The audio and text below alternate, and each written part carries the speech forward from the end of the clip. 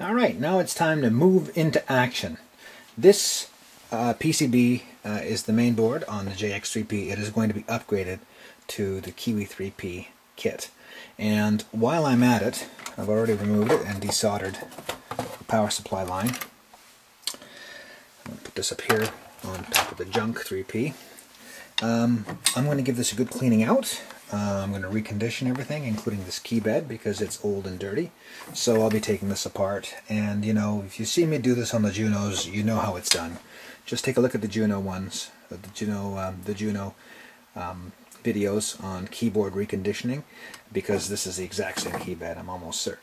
So I'm going to be dismembering this now and getting it in for washing and cleaning. I'm going to clean up the inside of the case.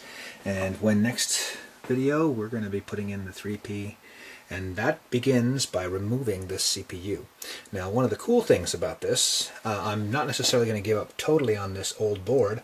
I'm going to remove the CPU from this and I'm going to put it into the other board because in the event that it is a CPU problem, well, I know I have a good CPU and good firmware here and those are going to be basically replaced um, by the 3P kit so I can take the good stuff and put it in this other board and maybe that will bring this one into somewhat more of an operational condition. Who knows?